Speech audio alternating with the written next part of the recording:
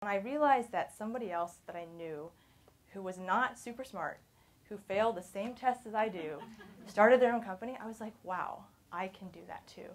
And so, two years we worked on various projects, did a bunch of things, um, finally found something we're really passionate about.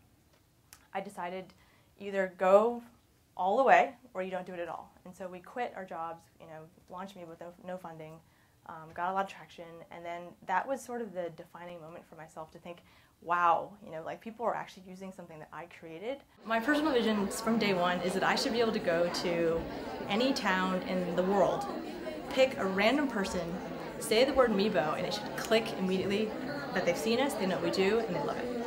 That's my vision for Meebo.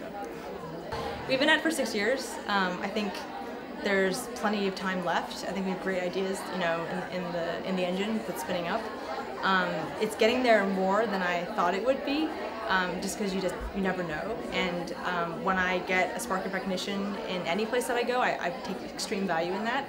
Um, so I don't think we're that far, but you know, it, will take some time to get to Google Google strength. But you know, I, I think it's possible.